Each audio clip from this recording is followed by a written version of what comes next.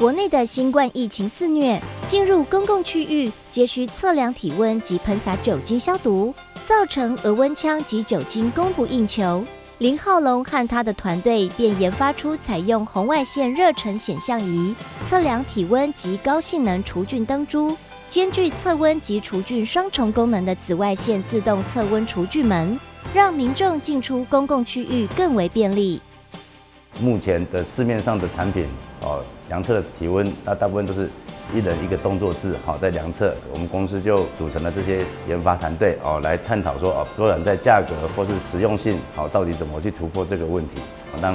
大家能快速的进出，哦，不要因为这个防疫的检测而造成时间的浪费，哦，甚至造成二次的感染。那我们当初会设计这个厨具门的出发点是，有是在机场的时候，那我们通过安检门。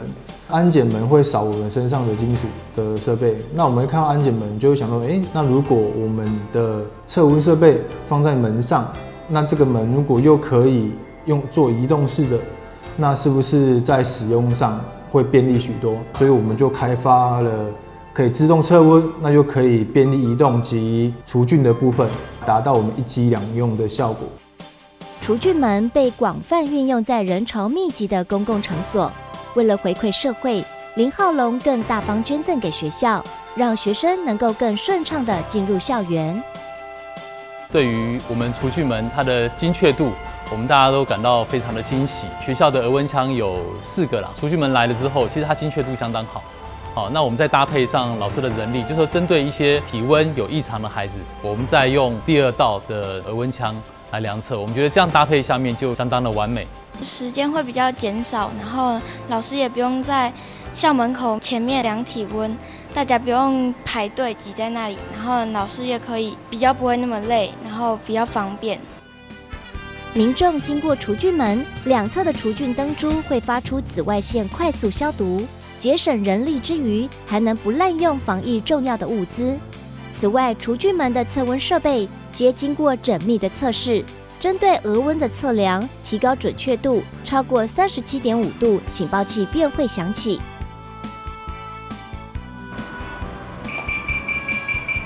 像一般我们民众如果要经过测温设备的话，一般的市面上是用全身量测的部分，那可能我们拿拎着一个便当或者个热食，那其实测温设备就会报警了。那其实本身人体是没有温度过高的情况，那我们的设备是 focus 在耳温的部分。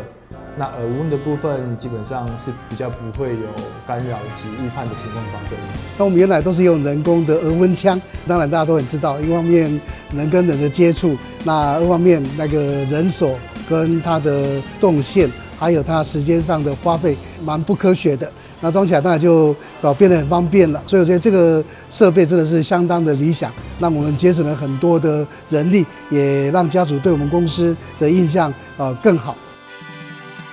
结合疫情时代最需要的防疫与消毒功能，其可移动的设计更可使用在许多户外活动的场合，在人潮拥挤处加速人员的流通。这次 UVC 测温门的投入，最主要是要回馈整个台湾社会，在这个 UVC 测温门的成立以后，能更便利的享受到人员的进出啊，学生的安全，人员的安全啊，当然还是以学校。为最为起初的一个发想，所以说包括这次设计的核心价值，为了台湾的人民啊，包括小学生的安全跟福祉为主来设计，这个是我们整个核心的理念，都是从一而终，不会改变的。本着给予顾客安全感的初衷，林浩龙和他的团队为台湾防疫贡献良多，除了和第一线防疫人员共同守护台湾人的健康。团队也将不断研发与改良产品，持续为民众带来更安心适意的生活。